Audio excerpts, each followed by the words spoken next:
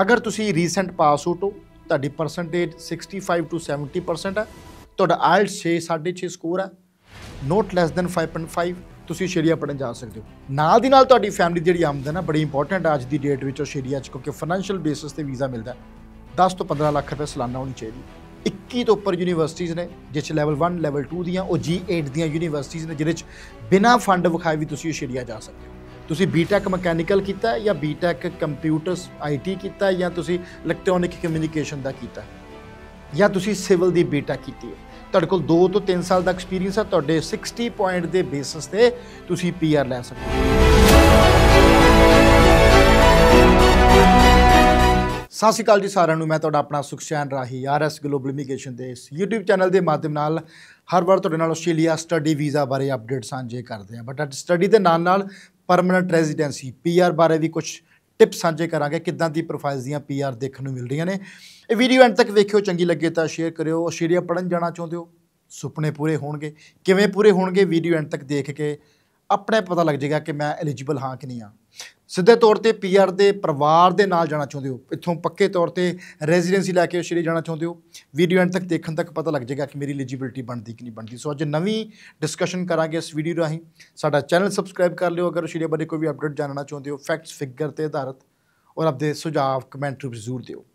Australia ਬਾਰੇ ਮੈਂ ਕਾਫੀ videos ਹਰ ਹਫ਼ਤੇ ਇੱਕ ਦੋ ਵੀਡੀਓ ਪਾਉਣ ਦੀ ਕੋਸ਼ਿਸ਼ ਕਰਦੇ ਹਾਂ। ਸੋ ਵੀਜ਼ੇ ਹੁਣ ਦਿਖਣੇ ਸ਼ੁਰੂ ਹੋਏ ਨੇ। ਆਉਣੇ ਸ਼ੁਰੂ ਹੋ ਚੁੱਕੇ ਨੇ।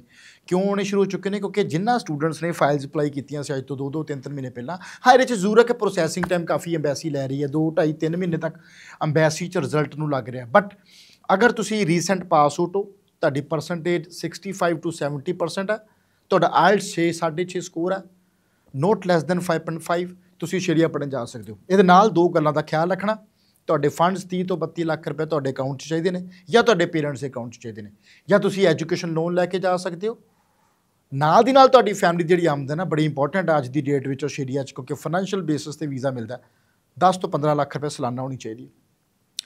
ਮੋਸਟ ਵੈਲਕਮ ਇਸ ਟਾਈਮ ਜਨਵਰੀ ਇਨਟੇਕ ਓਪਨ ਹੈ ਕੁਝ ਯੂਨੀਵਰਸਿਟੀ 'ਚ ਅਕਤੂਬਰ, ਨਵੰਬਰ ਇਨਟੇਕ ਵੀ ਹੈ। ਫਸਟ ਕਮ ਫਸਟ ਸਰਵ ਸਾਡੇ ਕੋਲ ਤਕਰੀਬਨ ਇਸ ਟਾਈਮ 21 ਤੋਂ ਉੱਪਰ ਯੂਨੀਵਰਸਿਟੀਆਂ ਨੇ, ਜਿਸ 'ਚ ਲੈਵਲ 1 ਲੈਵਲ 2 ਦੀਆਂ, ਉਹ G8 ਦੀਆਂ ਯੂਨੀਵਰਸਿਟੀਆਂ ਨੇ, ਜਿਹਦੇ 'ਚ ਬਿਨਾਂ ਫੰਡ ਵਿਖਾਏ ਵੀ ਤੁਸੀਂ ਆਸਟ੍ਰੇਲੀਆ ਜਾ ਸਕਦੇ ਹੋ। ਜ਼ਿਆਦਾ ਜਾਣਕਾਰੀ ਚਾਹੁੰਦੇ ਹੋ ਆਪਣੀ ਅਸੈਸਮੈਂਟ ਦੇ ਲਈ, ਸਾਡੀ ਨੇੜਲੀ ਬ੍ਰਾਂਚ ਵਿੱਚ ਵਿਜ਼ਿਟ ਕਰੋ। ਬਟ ਅੱਜ ਦੀ ਵੀਡੀਓ ਜਿਹੜੀ ਡੈਡੀਕੇਟਡ ਰਹੇਗੀ, ਉਹ ਹੈ ਪਰਮਨੈਂਟ ਰੈਜ਼ੀਡੈਂਸੀ ਲਈ, ਆਸਟ੍ਰੇਲੀਆ ਪੀਆਰ ਲਈ। ਬਹੁਤ ਸਾਰੇ ਲੋਕਾਂ ਨੂੰ ਲੱਗਦਾ ਕਿ ਕੈਨੇਡਾ 'ਚ ਕੰਮ ਨਹੀਂ ਹੈ ਕੈਨੇਡਾ 'ਚ ਰੋਜ਼ਗਾਰ ਦੀ ਕਮੀ ਹੈ ਕੈਨੇਡਾ ਰਿਸੈਸ਼ਨ 'ਚ ਚੱਲ ਰਿਹਾ। ਆਸਟ੍ਰੇਲੀਆ ਦੀ ਪੀਆਰ ਆਰਐਸ ਗਲੋਬਲ ਕੋਈ ਅੱਜ ਤੋਂ ਪ੍ਰਮੋਟ ਨਹੀਂ ਕਰ ਰਿਹਾ, ਪਿਛਲੇ 6 ਸਾਲਾਂ ਤੋਂ ਕਰ ਰਿਹਾ। ਔਰ ਹੁਣ ਤੱਕ ਅਸੀਂ ਕਈ ਇਹੋ ਜਿਹੀਆਂ ਕੰਪਨੀ ਜਿਵੇਂ ਚ, ਜਿਵੇਂ ਸੋਨਾਲਿਕਾ ਕੰਪਨੀ ਹੈ ਇਨਫੋਸਿਸ ਕੰਪਨੀ ਹੈ, ਇਹਨਾਂ ਕੰਪਨੀਆਂ ਦੇ ਹੁਣ ਤੱਕ ਅਸੀਂ ਸੈਂਕੜੇ EMPLOYEES ਪਰਮਨੈਂਟ ਰੈਜ਼ੀਡੈਂਟ ਕਰਾ ਚੁੱਕੇ ਹਾਂ। ਸਪੈਸ਼ਲੀ ਆਵਾਜ਼ ਉਹਨਾਂ ਨੂੰ ਜਿਹੜੇ ਬੀਟੈਕ ਹੋਲਡਰ ਹੈ। ਤੁਸੀਂ ਬੀਟੈਕ ਮਕੈਨੀਕਲ ਕੀਤਾ ਹੈ ਜਾਂ ਬੀਟੈਕ ਕੰਪਿਊਟਰਸ ਆਈਟੀ ਕੀਤਾ ਜਾਂ ਤੁਸੀਂ ਇਲੈਕਟ੍ਰੋਨਿਕ ਕਮਿਊਨੀਕੇਸ਼ਨ ਦਾ ਕੀਤਾ ਜਾਂ ਤੁਸੀਂ ਸਿਵਲ ਦੀ ਬੀਟੈਕ ਕੀਤੀ ਹੈ? ਤੁਹਾਡੇ ਕੋਲ 2 ਤੋਂ 3 ਸਾਲ ਦਾ ਐਕਸਪੀਰੀਅੰਸ ਹੈ, ਤੁਹਾਡੇ 60 ਪੁਆਇੰਟ ਦੇ ਬੇਸਿਸ ਤੇ ਤੁਸੀਂ ਪੀਆਰ ਲੈ ਸਕਦੇ ਹੋ।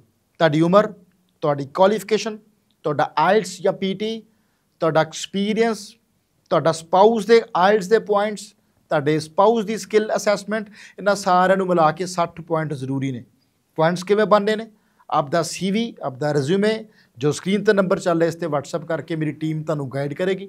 ਅਗਰ ਤੁਹਾਡੇ ਪੁਆਇੰਟਸ ਬਣਦੇ ਨੇ ਤੁਸੀਂ ਅਗਲੇ 8 ਤੋਂ 12 ਮਹੀਨੇ ਚ ਆਪਣੇ ਪਰਿਵਾਰ ਨਾਲ ਸਿੱਧੇ ਤੌਰ ਤੇ ਆਸਟ੍ਰੇਲੀਆ ਜਾ ਸਕਦੇ ਹੋ। ਸੋ ਇਸ ਟਾਈਮ ਜਿਹੜੀ ਕਾਲ ਕੀਤੀ ਜਾ ਰਹੀ ਹੈ ਜਾਂ ਜਿਹਨੂੰ ਇਨਵਾਈਟ ਕੀਤਾ ਜਾ ਰਿਹਾ ਹੈ ਆਰਐਸ ਗੋਬਲ ਦੀ ਟੀਮ ਵੱਲੋਂ, ਤੁਸੀਂ ਬੀਟੈਕ ਕੀਤੀ ਹੈ ਕੋਈ ਵੀ? ਤੁਹਾਡੇ ਕੋਲ 2 ਤੋਂ 3 ਸਾਲ ਦਾ ਐਕਸਪੀਰੀਅੰਸ ਹੈ, ਉਮਰ ਤੁਹਾਡੀ 35 ਸਾਲ ਤੋਂ ਘੱਟ ਹੈ 25 ਸਾਲ ਤੋਂ 35 ਸਾਲ ਦੇ ਦਰਮਿਆਨ ਆ, ਤੇ ਤੁਹਾਡੇ ਆਰਾਮ ਦੇ ਨਾਲ 65 ਟੂ 75 ਪੁਆਇੰਟ ਬਣ ਜਾਂਦੇ ਨੇ। ਇਸ ਤੋਂ ਇਲਾਵਾ ਤੁਸੀਂ ਆਈਟੀ ਪ੍ਰੋਫੈਸ਼ਨਲ ਹੋ, ਤੁਹਾਡੇ ਕੋਲ ਮਾਰਕੀਟਿੰਗ ਦਾ ਐਕਸਪੀਰੀਅੰਸ ਹੈ ਜਾਂ ਤੁਸੀਂ ਬੈਂਕਿੰਗ ਸੈਕਟਰ 'ਚ ਕੰਮ ਕਰਦੇ ਹੋ, ਇਹ ਸਾਰੀਆਂ ਪ੍ਰੋਫਾਈਲਸ ਨੂੰ ਆਸਟ੍ਰੇਲੀਆ ਦੀ ਪੀਆਰ ਹਾਸਲ ਕਰਨ ਦਾ ਇੱਕ ਬੜਾ ਵਧੀਆ ਮੌਕਾ ਮਿਲ ਸਕਦਾ। ਆਇਲ 6 ਈਚ ਮੈਂਡੇਟਰੀ ਨੇ।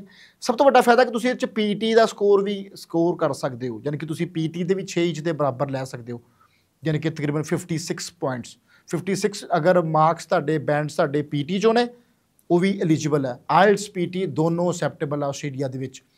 ਐਂਡ ਇਸ ਟਾਈਮ ਨਿਊ ਫਾਈਨੈਂਸ਼ੀਅਲ ਈਅਰ 1 ਜੁਲਾਈ ਤੋਂ ਸ਼ੁਰੂ ਹੋ ਚੁੱਕਿਆ। This is the right time ਅਗਰ ਤੁਸੀਂ ਆਸਟ੍ਰੇਲੀਆ ਦੀ ਪਰਮਨੈਂਟ ਰੈਜ਼ੀਡੈਂਸੀ ਲੈਣਾ ਚਾਹੁੰਦੇ ਹੋ, ਆਪਦੇ ਕੇਸ ਦੀ ਅਸੈਸਮੈਂਟ ਕਰਨਾ ਚਾਹੁੰਦੇ ਹੋ, ਕਿਉਂਕਿ ਇੱਕ YouTube ਵੀਡੀਓ ਵਿੱਚ ਸਿਰਫ ਬਰੀਫ ਡਿਟੇਲ ਦਿੱਤੀ ਜਾ ਸਕਦੀ ਹੈ। ਡਿਸਕਸ਼ਨ ਨਹੀਂ ਕੀਤੀ ਜਾ ਸਕਦੀ।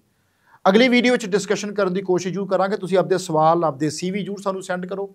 ਆਸਟ੍ਰੇਲੀਆ ਪੀਆਰ ਅਪਲਾਈ ਕਰਨਾ ਚਾਹੁੰਦੇ ਹੋ ਜਾਂ ਫਿਰ ਆਸਟ੍ਰੇਲੀਆ ਸਟੱਡੀ ਵੀਜ਼ਾ ਹਾਸਲ ਕਰਨਾ ਜਿਹੜੀਆਂ ਪੁਰਾਣੀ ਵੀਡੀਓਜ਼ ਦੇਖ ਕੇ ਜਾਂ ਅੱਜ ਦੀ ਵੀਡੀਓ ਦੇਖ ਕੇ ਅਗਰ ਮਨ 'ਚ ਕੋਈ ਸਵਾਲ ਹੈ ਤਾਂ ਕਾਲ ਕਰਨਾ ਨਾ ਭੁੱਲਿਓ 70509 70509 ਨੰਬਰ ਤੇ, ਜਾਂ ਫਿਰ ਆਰਐਸ ਗਰੁੱਪ ਦੀ ਨੇੜਲੀ ਬ੍ਰਾਂਚ ਤੁਹਾਡਾ ਹਮੇਸ਼ਾ ਵੈਲਕਮ ਕਰਦੀ ਹੈ ਬਠਿੰਡਾ, ਮੋਹਾਲੀ, ਜਲੰਧਰ, ਅੰਮ੍ਰਿਤਸਰ 'ਚ। ਉੱਥੇ ਆ ਕੇ ਮੇਰੇ ਐਕਸਪਰਟ ਵੀਜ਼ਾ ਕਾਉਂਸਲ ਨੂੰ ਮਿਲ ਕੇ ਆਸਟ੍ਰੇਲੀਆ ਦੀ ਸਟੱਡੀ ਵੀਜ਼ਾ ਦੇ ਬਾਰੇ ਔਰ ਪੀਆਰ ਬਾਰੇ ਡਿਟੇਲ 'ਚ ਜਾਣਕਾਰੀ ਲੈ ਕੇ ਆਪਣੇ ਭਵਿੱਖ ਨੂੰ ਨਵਾਂ ਇੱਕ ਰੂਪ ਦਿੱਤਾ ਜਾ ਸਕਦਾ। ਵੀਡੀਓ ਕਿਵੇਂ ਲੱਗੀ? ਸ਼ੇਅਰ ਕਰਿਓ, ਚੰਗੀ ਲੱਗੇ ਤਾਂ ਸੁਝਾਅ ਜ਼ਰੂਰ ਦਿਓ। ਅਗਰ ਕੋਈ ਨੈਗੇਟਿਵ ਪੁਆਇੰਟ ਵੀ ਹੈ, ਕੋਈ ਸੁਜੈਸ਼ਨ ਦੇਣਾ ਚਾਹੁੰਦੇ ਹੋ, ਉਹ ਵੀ ਸਾਨੂੰ ਜ਼ਰੂਰ ਕਮੈਂਟ ਰੂਪ ਚ ਦਿਓ ਤਾਂ ਕਿ ਅਸੀਂ ਹੋਰ ਅੱਛੀ ਇਨਫੋਰਮੇਸ਼ਨ ਤੁਹਾਡੇ ਤੱਕ ਲੈ ਕੇ ਆ ਸਕੀਏ ਔਰ ਤੁਸੀਂ ਆਪਣੇ ਭਵਿੱਖ ਸੰਬੰਧੀ ਇੱਕ ਸਹੀ ਫੈਸਲਾ ਲੈ ਸਕੋ। ਇੱਕ ਨਵੀਂ ਵੀਡੀਓ ਨਵੇਂ ਕੰਟੈਂਟ ਨਾਲ ਫਿਰ ਹਾਜ਼ਰ ਹੋਣੇ ਤਦ ਤੱਕ ਜਿਉਂਦੇ ਵਾਸਦੇ ਰਹੋ। ਰੱਬ ਰਾਖਾ। ਸਤਿ ਸ਼੍ਰੀ ਅਕਾਲ।